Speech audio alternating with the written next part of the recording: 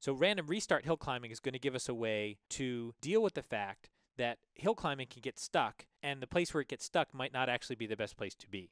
And so we can go back to that function that we looked at before. So what are some places that this can get stuck? There, there, and there. And, and, and others to boot. So what randomized hill climb is going to do is once a local optimum is reached, the whole we're just going to start the whole thing again from some other randomly chosen x. It's like, you know, sort of what you do if you were trying to solve a problem and you got stuck. You're like, okay, let me just try to solve it again. So why is this a good idea? Hmm. Well, one, it, it it takes away the luck factor of I happen to pick a good starting place. Although I suppose it replaces it with the luck factor that I randomly happen to pick a good place. But that's okay because I'm going to keep randomly picking good places or randomly picking starting places. Yeah, so you get multiple tries to find a good starting place. That there could be various places where you start that don't do so well, but as long as there's places where you do well, then you might luck into to, to starting in one of those places and, and climb up to the tippy top and win. Uh, another advantage is that it's actually not much more expensive. So whatever the cost is of climbing up a hill, um, all you've done is multiply it by, you know, a factor, a constant factor, which is how many times you're willing to do a random restart. Yeah, that's a good way of thinking about it. That it's it's really just random hill climbing repeated however many times you feel like you have time to repeat it, and it can actually do much much better.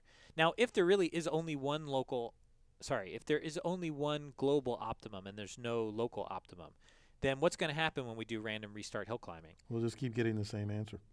Yeah over and over again. So it could be that we that we might keep track of that and notice, okay, you know what, we seem to be in a space where these random restarts aren't getting us any new information, so we might as well stop now. Well, that's one answer, but I could think of another answer. Uh, what's that?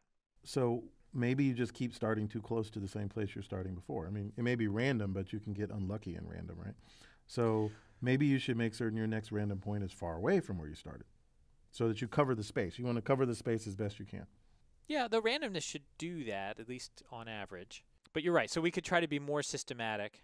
So here might be an example of a kind of function where that be really relevant. So imagine we've got, here's our input space, and most of the random points that we choose are all going to lead us to the top of this hill. But a very small percentage are actually going to lead us to the top of the, the real hill, the, the, the top that we really want, the optimum. So yeah, we, we might not want to give up after a relatively small number of, of tries because it could be that there's just ti this tiny little, I don't know, I'm going to call it a basin of attraction. Mm-hmm. I like that. And if it's small enough, it might take lots of tries to hit it. In fact, it could be a needle in a haystack, in which case there's only one place that you can start that has that optimum, and that could take a very, very long time to luck into. In fact, the hill climbing part isn't doing anything for you at that point. Yeah, but you know, if you're in a world where there's only one point that's maximum and – or there's only one way to get to it by happening to land on a single point, then you're in a bad world anyway. right? I mean, there, there's, there's nothing. Nothing is going to work out. Nothing's going to help you in that world. Yeah. Right. And in fact, I would I would claim since everything has some kind of inductive bias, right? You're you're making some assumption about like local smoothness or something um, that that makes sense here because if you if you are worried about a world where there is always some point of the infinite number of points you could be looking at, say, uh, that is the right one, and there's no way of finding it other than having to have stumbled on it from the beginning, then you, you can't make any assumptions about anything. You might as well just look at every single point.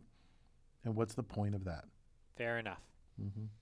So the the assumption here, I guess, is that there you can make local improvements, and that local improvements add up to global improvements. Right. Hey, I got a question. I got a semantic question for you, a definition question for you.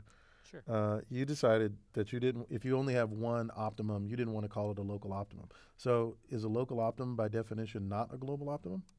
So if I was being mathematical about it, I would define local optimum in a way that would include the global optimum. But it's just awkward to talk about it that way because it feels like a local optimum is someplace you don't want to be, and the global optimum is someplace you do want to be. Yeah, that's right. The global optimum is a local optimum in the sense that you can't improve it using local steps. Okay.